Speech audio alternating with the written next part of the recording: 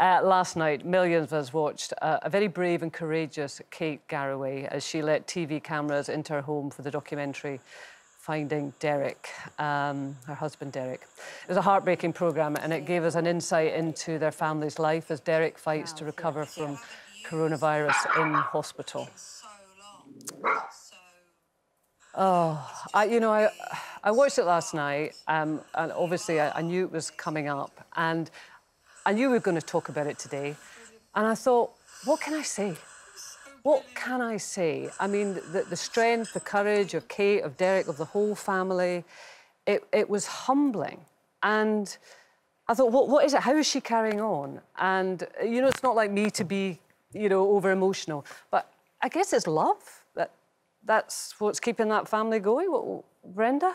Yeah, I mean, I was just taken back by the, the, positivity that she showed and you know as you say love can keep everybody together and if you if you're all together on the same page then you know that's half the battle with with any illness to be to be quite perfectly honest i think for everyone who watched it it probably would stir up something different what, what did it stir up for you Jan? oh it I, First of all, I was really moved by her courage and her determination to hold on to him. And you could see uh, that it was made doubly difficult because she wasn't there in person and it had to be done through screens and phones and everything else. And she had to communicate with doctors like that as well. So it was unspeakably difficult. And she was just a heroine.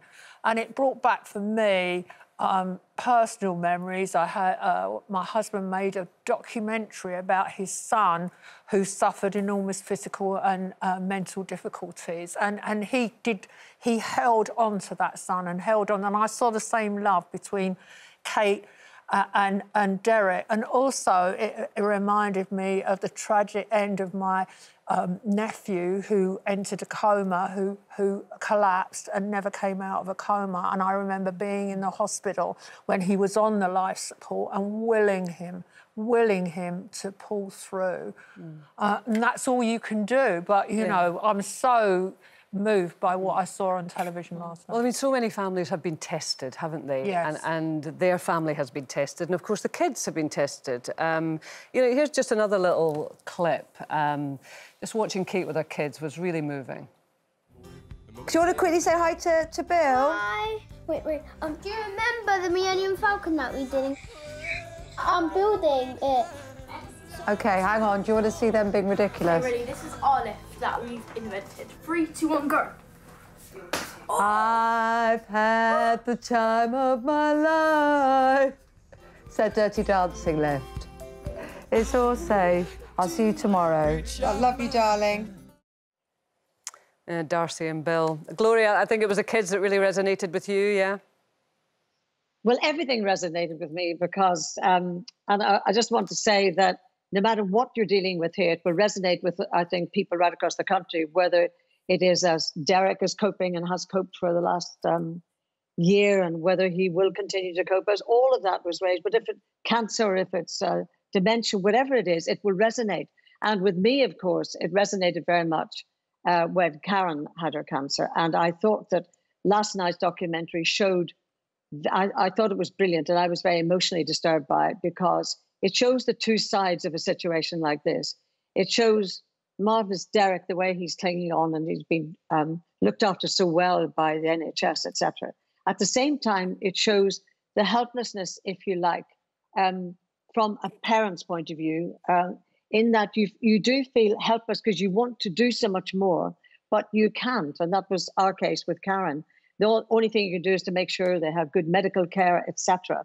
But the other aspect which you touched on was the resilience of the children. You know, um, our little boys. You know, when Caron went to Australia at one point, uh, when she was maybe three years into her seven-year battle, and I was really like emotionally struck by the way they one minute they would be almost crying about mummy and why is mummy in bed so much etc the next minute they're jumping up and down the trampoline they're so resilient and children in the end show you the way and the person at the middle of it all the person who is doing the battling against cancers in derek's case in the end they become the teachers because what i discovered is and my question was where does everybody get the strength from in the end? The strength of Derek to keep pushing, the strength of Kate with her kids and her emotion. So it's it's a lesson. And I just to finish on that, I just think that if anybody was feeling, oh, I'm not going to get, I'm never going to get the jab. I think last night's documentary, I know if I hadn't had my jab, I'd be saying, give it to me as soon as you can, because COVID is a shocking disease, as we saw through Derek last night. And Kate was just wonderful. Yeah, I mean, strength. I mean, I said it, it just spoke to me and said love. Uh, the other thing is, is strength. And towards the end of the documentary, we see that there is real, there is real cause for, for hope, and that strength is really bringing dividends. And, and obviously, we have to hope that that Derek will make a recovery, but I think Kate appreciates that their life will probably be changed. Never the same again. I mean, I think, unfortunately, I've, I've dealt with it on the child side with being an orphan so um, at such a young age and having my family shielding me effectively because they thought that that was the right thing to do.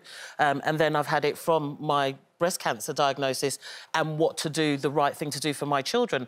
And I'm glad that I included them and I was open and honest with them so that they could feel that they were part of what was going on with me and any questions, they're not scared to come forward and ask me. And I, I think children, you know, they're, as Gloria says, they're very resilient. Mm. And, you know, I think it's it's more a case of you, you've just got to, with, with my children, they their positivity kept me positive. And I think watching Kate's um, documentary, her children were so positive and, and they had that bright outlook that's bound to help to lift up the yeah. spirits, which, yeah. you know, I think is really important. Did the kids keep you going, Glo?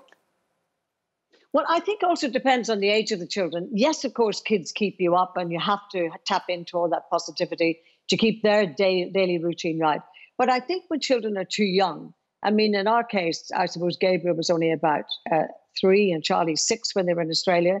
And there was a, a, a, point when within the family they said we should tell the boys that the mum's got cancer. And I was against that because I just thought, luckily, Caron went on for seven of those years. But imagine if the boys from a very young age every day had to deal with the fact my mummy's got cancer, my mummy might die.